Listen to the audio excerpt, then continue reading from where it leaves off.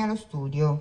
Audizione stamani in Commissione Istruzione al Senato della Federazione Scuole Paritarie Cattoliche. Abbiamo raggiunto Virginia Kalagic, Presidente nazionale.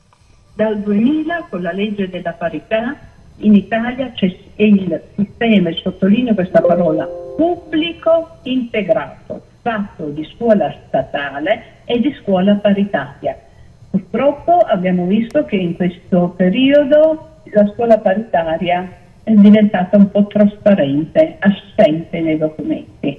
Noi adesso stiamo predisponendo anche tutto un dossier per dire che nonostante questa dimenticanza, qual è stato l'impegno della scuola paritaria? Chiediamo di essere considerata scuola, siamo italiani, i nostri bambini, i nostri alunni, le nostre famiglie, i nostri docenti sono cittadini italiani e come tutti stiamo vivendo questa emergenza.